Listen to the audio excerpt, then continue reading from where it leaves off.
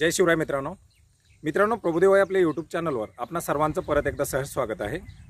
मित्रांनो यापूर्वीसुद्धा आपण मराठवाड्यातील त्याचप्रमाणे खूप आवर्षणग्रस्त भागातील साधारणपणे जे भाग दुष्काळी भाग म्हणून ओळखले जातात अशा भागातील नाव नाविन्यपूर्ण प्रयोग म्हणून आपण ड्रॅगन फ्रूटच्या लागवडीबद्दल पाहिलेलं आहे.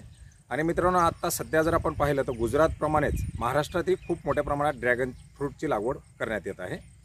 मित्रांनो एकंदरीत जर आपण पाहिलं तर साधारणपणे फेब्रुवारीपासून पुढचा काळ हा मराठवाड्यात पाणी नसल्याचा कालावधी असतो. खूप मोठ्या प्रमाणात पाण्याचं एक टंचाई संकट या ठिकाणी निर्माण होतं. मित्रांनो अशा या संकटाच्या वेळी एक आपल्या शा शेतीमधून शाश्वत उत्पन्न घेण्यासाठी आणि एक प्रगतशील शेतकऱ्यासारखं उत्पन्न घेण्यासाठी एक नाविन्यपूर्ण प्रयोग म्हणून आपण या ड्रॅगन फ्रूटकडे पाहू शकतो. मित्रांनो यापूर्वीसुद्धा आपण बऱ्याच साऱ्या व्हिडिओच्या माध्यमातून ड्रॅगन फ्रूटच्या लागवडीबद्दल त्याच्यावर पडणारे आजार किंवा त्याच्या संगोपनाबद्दल विस्तृत अशी माहिती घेतलेली आहे. परंतु मित्रांनो जे नवीन लागवड करतात आणि याच्यात नाविन्यपूर्ण काही ना काही प्रयोग करत राहतात तर याच्यामध्ये बऱ्याच साऱ्या मित्रांना आपल्या प्रश्न होते की याच्यासाठी जो खर्च केला जातो. कारण याच्यामध्ये जर आपण पाहिलं तर साधारणपणे पहिल्या वर्षामध्येच आपल्याला याच्यात इन्व्हेस्टमेंट करावं लागते जी साधारणपणे एकरी दोन लाखापर्यंत आहे. तर ही इन्व्हेस्टमेंट कशा प्रकारे होती किंवा शेतकऱ्यांचा अशा ड्रॅगन फ्रूटच्या बागा लागवड करण्यामागचा हेतू काय? हे सर्व आपण या व्हिडिओच्या माध्यमातून या बागेच्या मालकासोबत चर्चा करून जाणून घेण्याचा प्रयत्न करूयात. मित्रांनो आपल्यासोबत या बागेचे मालक अक्षय ईश्वर गोरे आहेत. आपण सध्या अंतरगाव तालुका भूम जिल्हा उस्मानाबाद या ठिकाणी आहोत. आणि आपण ही एक एकरची बाग पाहू शकतो. आणि तीस दिवसापूर्वी केलेली ही लागवड आहे. आपण या ठिकाणी पाहू शकता एक पहिली बांधणी केलेली आहे. आणि जे काही पानं आहेत या पानामधूनच एक दुसरा डोळा फुटून या ठिकाणी फुटवे फुटत राहतात आणि याची वाढ होत राहते. साधारणपणे अठरा महिन्यामध्ये याला फळ यायला सुरू होते. आता या ठिकाणी पाहू आपण पाहू शकतो काही ठिकाणी फुटवे फुटलेले आहेत काही ठिकाणी सुरू आहे. तर एक साधारणपणे पंचेचाळीस दिवसानंतर पन्नास दिवसानंतर हे जे फुटवे फुटत आहेत हे फुटवेवरती दुसऱ्या बांधण्याला येतील याला आपल्याला बांधणी करणं गरजेचं असतं. तर मित्रांनो याच्यामध्ये अठरा महिन्यानंतर फुलाची धारणा सुरू होते आणि फुल आल्यानंतर साधारणपणे तीस ते पंचेचाळीस दिवसामध्ये फळ पक्व व्हायला सुरू होतं. आणि साधारणपणे आपण जर पाहिलं तर एका हंगामामध्ये आपण तीन ते चार वेळा या ठिकाणी फळं काढू शकतो. म्हणजे एकरी आपण या ठिकाणी जवळजवळ पंधरा टनापर्यंत याचं उत्पन्न निघू शकतं. आणि मित्रांनो सध्या जर आपण पाहिलं तर साधारण मार्केटमध्येही सव्वाशे ते दीडशे रुपये किलोपर्यंत या फळाचा या ठिकाणी रेट आहे. तर अक्षयजी मला एक सांगा तुम्ही या शेतामध्ये यापूर्वी काय लागवड पहिले ज्वारी लागत ज्वारी लागवड करा. तर ज्वारीसाठी तुम्ही काही पाण्याचं सिंचनाची काही व्यवस्था पाणी कमी करत होते आपल्याला. कमतरता होती. आता जे तुम्ही ही लागवड केलेली आहे म्हणजे याच्या मागचा तुमचा दृष्टिकोन काय होता? म्हणजे तुम्ही दुसऱ्याही काही बागा करू शकत होता ड्रिपवरती जसं आंब्याची लागवड आहे किंवा इतर लागवड आहे? नाही पाण्याची कमतरता असल्यामुळे आपण हे केली लागवड ओके म्हणजे एकंदरीत साधारण अ, कमी पाण्यात अ, येणारी वनस्पती म्हणा. आता. तुम्ही अ, ही बाग केलेली आहे. हा. तरी बाग करताना आता आपण सिमेंटचे पोल वगैरे पाहू शकतो. तो साधारणपणे किती खर्च तुम्हाला याच्यासाठी आलेला आहे? दोन अडीच लाख रुपये येते सर दोन लाख रुपये. तर या पोलची किंमत साधारणपणे किती बसू शकते? जर नवीन कोणी जर सुरू करणार असेल एकशे साठ रुपयाला एकशे साठ रुपयाला एक पोल मिळतो. आता याच्यावरती तुम्हाला वरती आणखी छत्री पण बनवायची आहे. त्याच्यासाठी पण तुम्ही काय बनवत आहात? का हा त्यासाठी. रिंग बनवत. आहात. आणि ड्रिपसाठी ट्रिपसाठी आपण असे नवीनच आणले होते ड्रिपसाठी साधारणपणे एकराला काय खर्च त्याचा पन्नास आला? पंचावन्न हजार. पन्नास पंचावन्न हजार. म्हणजे एकंदरीत आपण पाहू शकतो साधारणपणे साडे अ, तीनशे पोल एकरात बसत आहेत आपण यापूर्वी सुद्धा पाहिलेले की चारशे साडेचारशे पोल पर्यंत आपण या ठिकाणी लावू शकतो. ज्याच्यामध्ये एका पोलच्या बाजूने आपण चार अ, झाडाची लागवड करू शकतो. म्हणजे एकरी साधारणपणे आपण चौदाशे ते अठराशे पर्यंत ड्रॅगन फ्रूटची लागवड अ, करू शकतो. आपल्याला हे कलम कुठून भेटलेलं आहे? आपल्या बुमवर भूममधून हे बाहेरून तुम्ही मागवलं. सांगोले हे सांगोल्यावरून कलम आलेलं आहे. आणि त्याला भूममधून हे उपलब्ध झालेलं आहे. तर कलमाची किंमत काय आपल्याला तेवीस रुपये पोच. म्हणजे साधारणपणे सोळाशे कलमाला आपण एकरी जर आपण खर्च काढत असाल तर तेवीस रुपये प्रति कलम अशा प्रकारे आपण आपल्या लागवडीचा एकराचा खर्च काढू शकता. मित्रांनो खर्च काढताना आपल्याला पहिल्या वर्षीचा जो खर्च आहे याच्यामध्ये मेन खर्च जो आहे तो पोल आणि ड्रिपचा असणार आहे. याच्या व्यतिरिक्त आपण जर पाहिलं तर दुसऱ्या वर्षीमध्ये हा कुठलाही प्रकारचा खर्च याच्यामध्ये समावेश केला जाणार नाही. आता आपण पाहू शकता या बागेमध्ये कुठल्याही प्रकारचं सध्या तर आपण कुठले रोग वगैरे पाहू शकत नाही.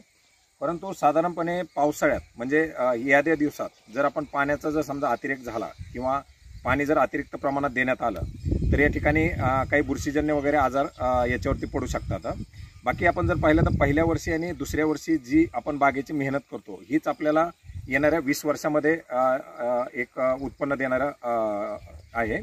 तर मित्रांनो जर आपण बाग करत असाल नवीन जर आपलं फ्रू फ्रूट ड्रॅगन फ्रूट लागवडीचं जर आपलं उद्दिष्ट असेल तर आपल्याला साधारणपणे अडीच लाख रुपयापर्यंत एकरी या ठिकाणी खर्च करावा लागतो. जो खर्च आपल्याला दुसऱ्या वर्षी खूप मोठ्या प्रमाणात कमी होतो. ज्याच्यामध्ये आपण फक्त जे औषधं किंवा जे खतं आपण देणार आहात किंवा जी छाटणी होणार आहे या छाटणीच्या मजुराचा खर्च आपल्याला लागणार आहे.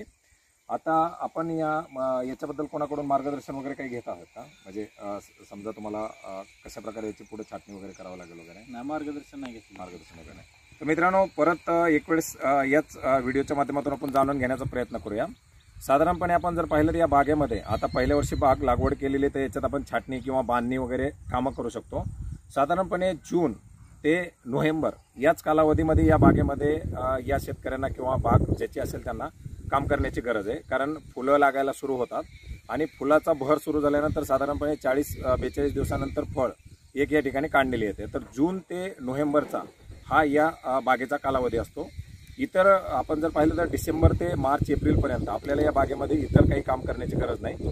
आणि आपण जर पाहिलं तर ही लागवड करताना आपण जेवढी मोठी स्पेस मध्ये ठेवू तेवढं आपण याच्यामध्ये आंतरपीक घेऊन आपलं जे शेतीचं नॉर्मल उत्पन्न आहे ते देखील घेऊ शकतो. जी छोटी छोटी पिकं आहेत ती छोटी छोटी पिकं घेऊ शकतो. आपण याच्यासुद्धा एक प्रयोग पाहू शकतो. यांनी याच्यामध्ये सुद्धा झेंडूची लागवड केलेली आहे. आणि मधला जो ओपन स्पेस आहे याच्यामध्ये सुद्धा कुठल्याही प्रकारचं एक छोटंसं आंतरपीक हे याच्यात घेऊ शकतील. मित्रांनो याचप्रमाणे आपण जर पाहिलं तर ड्रॅगन फ्रूटवर सहसा कुठल्याही प्रकारचा या ठिकाणी रोगाचा जास्त करून प्रादुर्भाव होऊ शकत नाही होत नाही.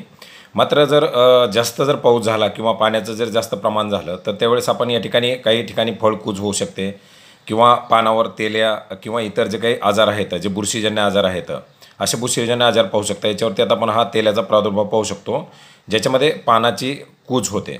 तर मित्रांनो असं जर काही रोग झाले किंवा अतिपाऊस असल्यामुळं किंवा जे काही झेंटोमोनस क्रॉम्टे टिरस नावाचा जो काही बुरशीजन्य आजार आहे याच्यामुळे सुद्धा पानाची एक सड वगैरे होऊ शकते. अशा याला आपण या ठिकाणी बुरशीजन्य जी कीटकनाशकं वगैरे आहेत याचा या ठिकाणी आपण फवारा करू शकतो. जास्त करून जर आपण पाहिलं तर ज्यावेळेस फळधारणा होते त्याच वेळेस असे आजार त्या ठिकाणी आपण पाहू शकतो. परंतु जर लागवड केलेली असेल नवीन प लागवड असेल जास्त प्रमाणात पाण्याचा हे असेल किंवा पाण्याचा निचरा होत नसेल तर काही अशा प्रकारचे आजार या ठिकाणी दिसू शकतात. तर मित्रांनो यालासुद्धा आपण बावीस टीन किंवा इतर जे काही बुरशीजन्य जे औषधं आहेत ती बुरशीजन्य आज औषध आपण या ठिकाणी फवारू शकता. मित्रांनो आपण जर पाहिलं तर अशी जर काही बुरशीजन्य जर दिसालं तर आपण या ठिकाणी पानाची जी आहे ती वरून कटणी करून ही पानं काढू शकता किंवा वारंवार म्हणजे याला एक पंधरा दिवसातून जोपर्यंत हा आजार आहे तोपर्यंत याची आपण बावीस टीनसारख्या औषधांची फवारणी करू शकता जेणेकरून आपल्या बागेचं आरोग्य व्यवस्थित राहील. साधारणपणे इतर हंगामामध्ये याला वर्षभर कुठलीसुद्धा इतर फवारणी करण्याची गरज पडत नसते. मित्रांनो अशा प्रकारे दुष्काळग्रस्त आवर्षणग्रस्त अशी एक मराठवाड्याची असणारी ओळख मिटवण्यासाठी असे काही तरुण पुढे येत आहेत असे काही तरुण शेतकरी याच्यात प्रयत्नशील आहेत. त्याचप्रमाणे असे काही नाविन्यपूर्ण प्रयोग केले जात आहेत. तर मित्रांनो मी आपणा सर्वांच्या वतीनं प्रभुदेवाच्या वतीनं अक्षयजींचं या ठिकाणी आभार मानतो. त्यांनी आपल्यासाठी वेळ दिला आणि आपल्याला सुद्धा या ठिकाणी भेट देण्याची एक त्यांनी विनंती मान्य केली. आणि मित्रांनो तुमच्यापर्यंत ही माहिती मला पोचवता आली. धन्यवाद.